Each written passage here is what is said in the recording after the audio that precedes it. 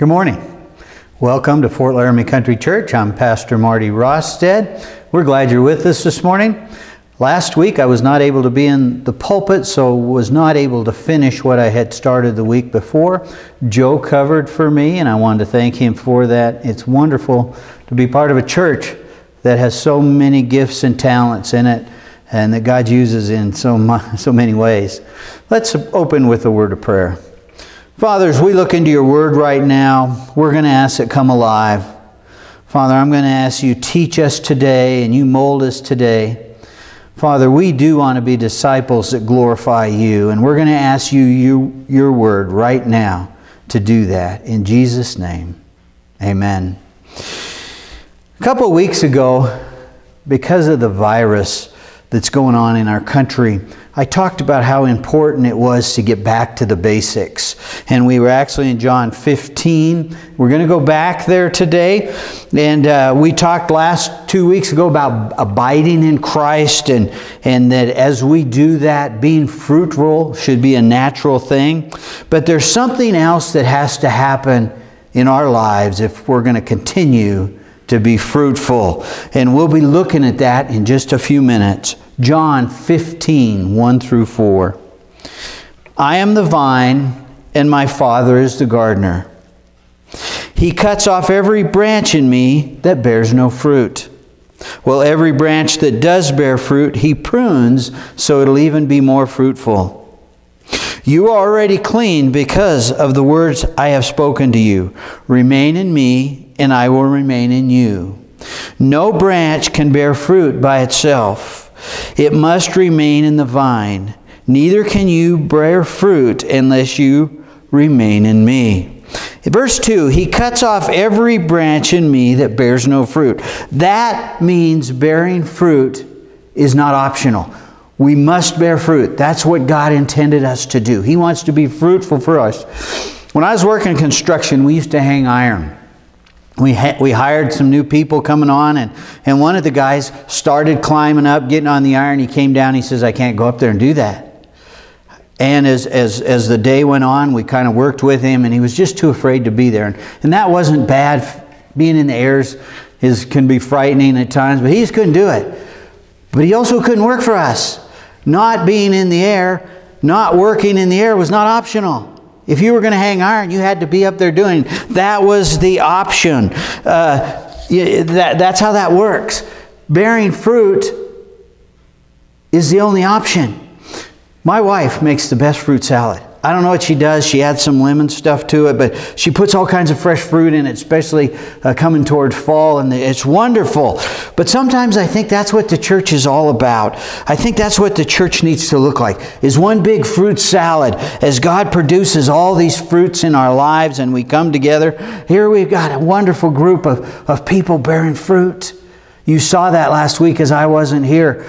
I didn't need to be here. Everybody were bearing fruit. Everybody were using their gifts and their talents and what God was doing in their lives. And the church functions that way. So what do fruits look like? God, God tells us what the fruits of the Spirit looks like. And, and when you give your life to Christ, you receive the Holy Spirit. It says we're sealed with the Holy Spirit. The Holy Spirit wants to produce something in our lives. And it's found in Galatians 5, 22 and 23. It says, but the fruit of the Spirit. It's interesting. It doesn't say fruits. It says fruit. This is all one deal. They all come as a package. It says, but the fruit of the Spirit is love, joy, peace, patience, kindness, goodness, fruitfulness, gentleness, self control. Against such things there is no law. when we receive Christ, we're sealed with the Holy Spirit. Holy Spirit wants to produce these fruits in our life, and that's what that looks like. And then also, as we walk with the Lord, God wants to produce a holiness in our life. That's one of the fruits. 1 Peter 1 13 through 16. Therefore, prepare your minds for actions. Be self control. Set your hope fully on the grace to be given to you when Jesus Christ is revealed. As obedient children, do not be conformed to the evil desires you had when you lived in ignorance. But just as he who is called holy, so be holy in all that you do. For it is written, Be holy because I am holy. Holiness is a fruit of God. God wants to produce his holiness in our lives. But being fruitful also comes from being obedient. Now, I used to think uh, that being fruitful was thinking up things to do for God. Uh, so I dream up all these good things and, and I think, hey, this is what we need to do. This is what God wants us to do. And I thought that was being fruitful. And I come to find out it was just kind of being busy. And, and we did a study called Experiencing God almost 30 years ago. It virtually changed everything for me to understand what it meant to be fruitful. God, God, in this experiencing God, what he says is, is God reveals his plans to us, and then that's his invitation for us to be involved. And as we get involved, that's being fruitful. So I've learned that being fruitful is being obedient.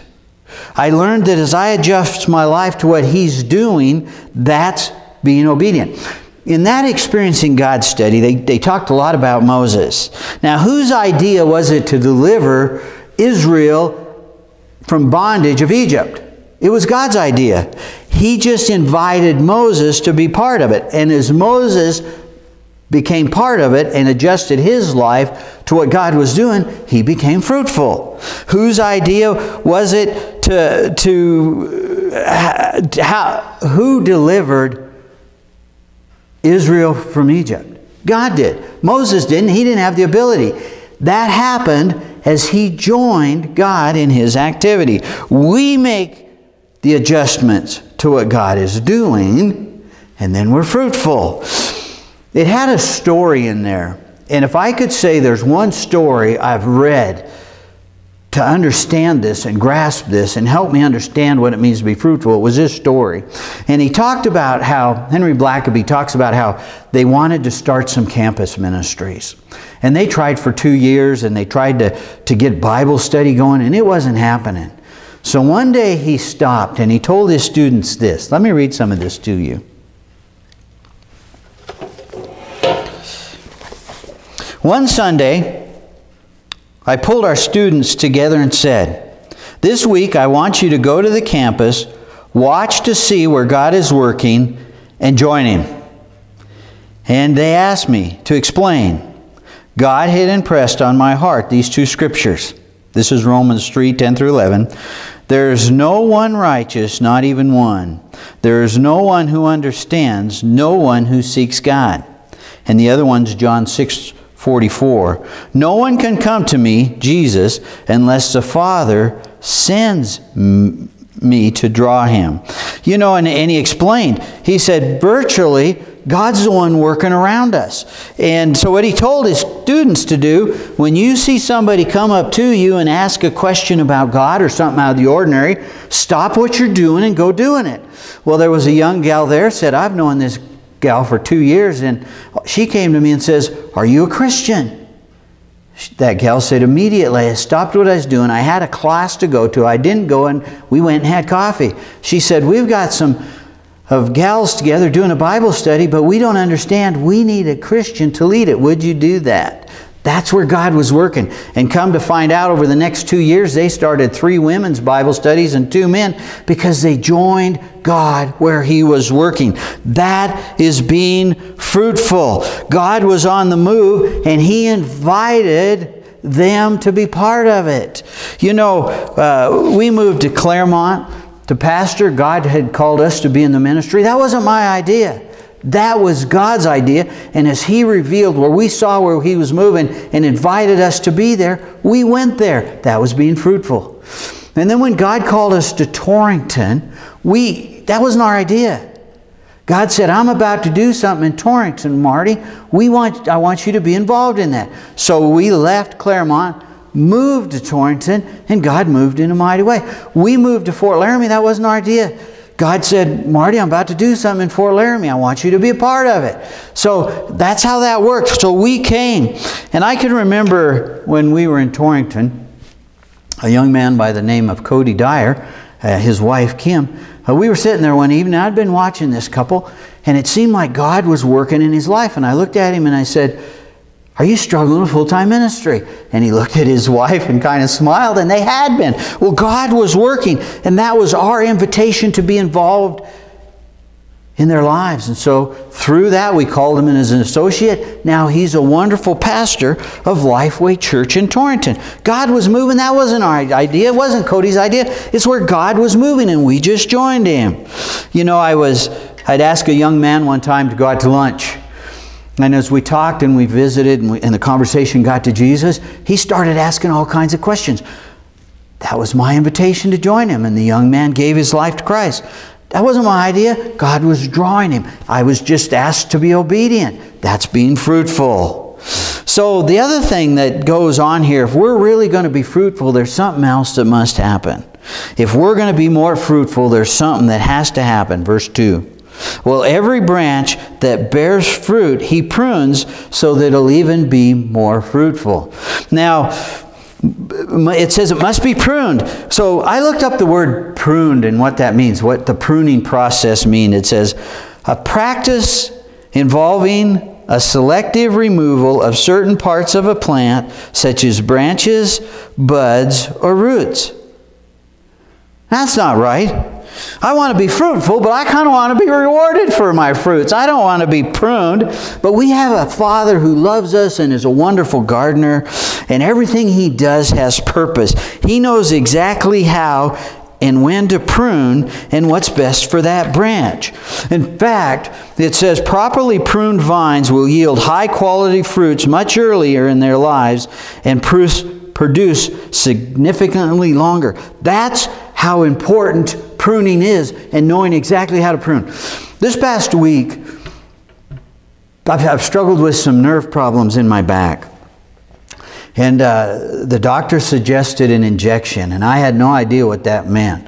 But you lay on a table, and, and, and you're laying flat on your stomach, and he said, I'm going to inject a deadener. And I'm telling you what, he injected that and it shot down my leg like fire. It was, it didn't deaden, it enhanced the pain. He says, Is that where your pain's been? I said, Yes. Then they inject a dye to make sure that's exactly where it's going. And then they inject whatever he injected into my back. And I'm telling you, it was the most painful thing I've ever experienced.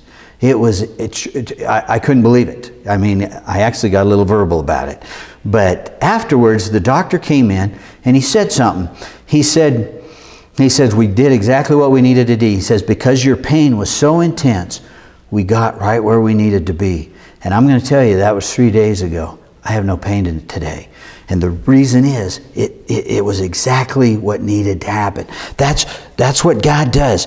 If we're going to be more fruitful, we have to trust that He knows exactly what He's doing as He prunes. Now, He's got a sharp knife here, uh, uh, and that's what it takes to prune, and He uses a lot of different things. This is what I use to prune uh, when we're cutting branches and tree. This is how I prune, you know, and, and it really works. It just, you know, you, it cuts nice and takes off what needs to do, and, and I can maneuver it and I get done. Well, God's far more skilled at this, and He uses a lot of things in our lives to prune us relationships, illnesses, trials. And, and pruning can be very painful and, and unpleasant. In fact, I worked with a guy by the name of Frank, and his dad actually raised grapes in upper New York State.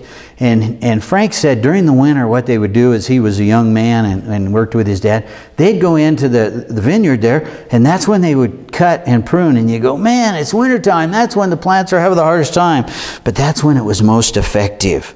Now, the problem with that is it's real easy to get self focused during the pruning process. So we try to hang on to what God's removing, and if we're not careful, we'll start to fight that. And you can see it in the questions you ask. You go, why me? Why now?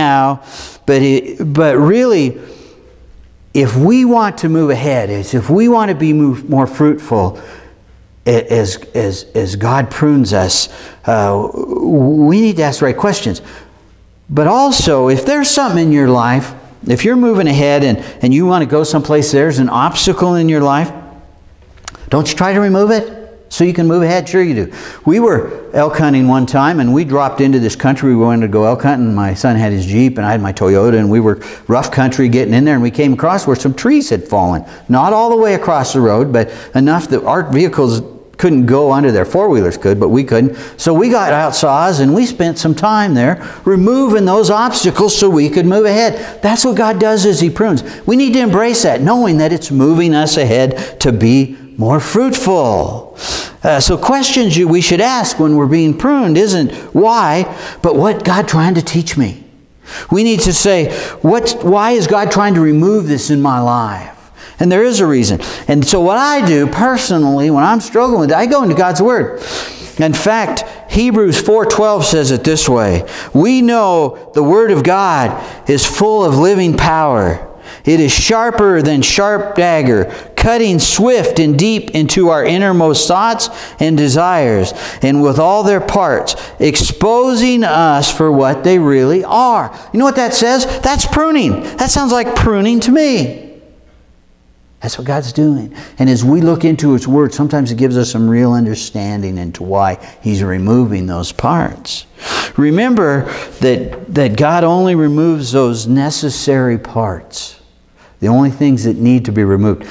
Nancy worked at Hunter's Hot Springs, that's up in Montana, and, and it used to be hot springs way back into the 1800s. Well, somebody bought it and started using that hot water to, to raise tomatoes, and she used to go there. And she talked about one of the things they'd do is they went through, they'd remove these sucker they called them sucker, things on the plants that grew that, that really didn't produce anything but took energy and, and, and, and took nutrients away from the, the plant that was producing.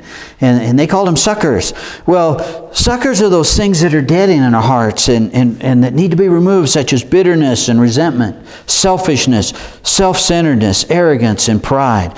Those things need to be pruned if we're going to be more fruitful. See, see, pruneful, she used to go there every day and do it. It's not a one time deal, it's a lifetime, an entire lifetime in our lives. If we're going to be, God never stops. He loves us enough to continue to prune and go on. We had a rose bush in our yard in Torrington and had those real pretty little red roses on it. And Nancy'd go out as they were coming to bloom and they were blooming. She'd pop them off. What are you doing? Well, she did it all summer, and, and all summer she did it. That plant, that plant just kept producing roses until she stopped. And as soon as she stopped, the plant stopped producing roses. Now, this is the exciting part. When God's pruning us, that means He's getting us ready to be more fruitful. You need to think about that. What's God preparing us for? He's getting us to be ready to be more fruitful in whatever part of our life. Well, every branch that does not bear fruit, He prunes so it'll even be more fruitful. That's the exciting part, friends. As hard as it is to go through that pruning process, God has something far more in front of us. He wants us to be fruitful. Also told earlier on that Jesus is the vine. And really, apart from Him, we can do nothing. A vine is a source of life. That's the starting point. If we want to be fruitful, if we want to have a life that's full, Jesus, Jesus said, I have come that you, in John 10 10, I have come that you could have life and have it more abundantly or more full. So, what he's talking about here, in fact, 1 John 5 11 and 12 says it this way And this is a testimony God has given us eternal life, and this life is in his Son. He who has a Son has life. He who does not have the Son does not have life. Friends, you will never have life without Jesus Christ. He came and died on this cross for our sins. He pruned those sins out of our life when He died on the cross. Our part is attaching to the vine. And you do that by asking Him to come into your life and you trust Him with that. Sometimes it's as simple as yes, Father, I know I'm a sinner and I need a Savior. Please come into my heart right now. I want to be fruitful. I want the life that you intended for me to be. If you've never done that, you can do that right now at home. It is that simple. Father, I need you in my life. I need you to forgive my sins. I need this abundant life. If you've never done that, do it. And if you have more questions about that, on our face page, on our, our Facebook page, our web page. Our phone number's there. Please call and talk to me about it. I would love to visit with you about it. Let's pray. Father, we want to be fruitful. We want to live a life that's full. Help us to embrace this pruning process so we can even be more fruitful. In Jesus' name, amen.